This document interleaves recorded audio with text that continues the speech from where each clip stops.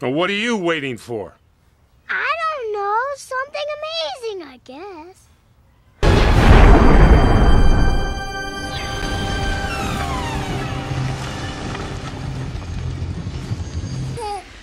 oh, man.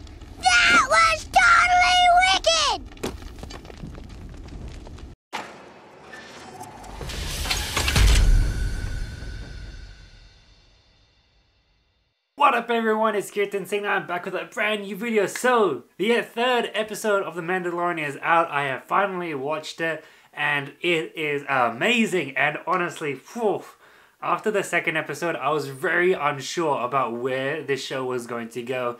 But this episode is the best so far and it was amazing what actually was done in this episode. So Deborah Chow directed this episode and she's also going to be directing the Obi-Wan series coming up in two years or so, which is really reassuring after watching this episode.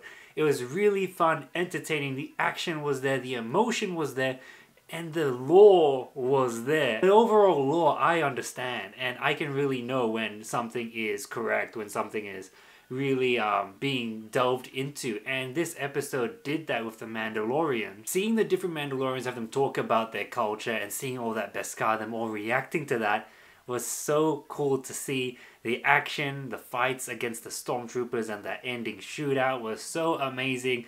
Baby Yoda was once again amazing and really is just so cute and perfect. And this episode was near perfection. I really can't see anything wrong with it. Because even though it was short, it was only 35 minutes. And I was like, oh no, this is 35 minutes? This is going to be so short like the second episode was. But no, it wasn't.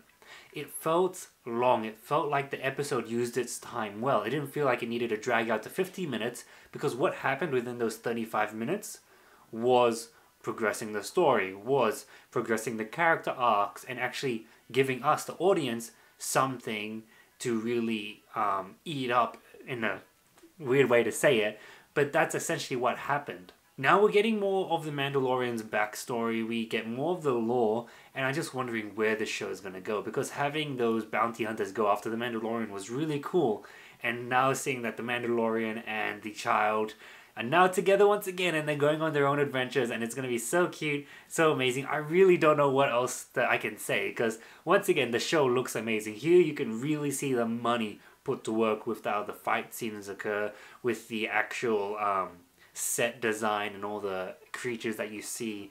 Everything that's going on it's just amazing. I, I really i'm just going to continue ranting on if i just talk and talk and talk about how great this show is, how great this episode is. So the third episode of The Mandalorian is my favorite so far. Here's hoping that they can all be this great, and just smash out the rest of this season with this high that we're on right now. Let me know in the comment section down below what your favorite episode is of The Mandalorian so far. What did you think of this episode and are you enjoying it? Make sure you hit that like button, subscribe to my channel for more videos, and until next time, I'll see yous.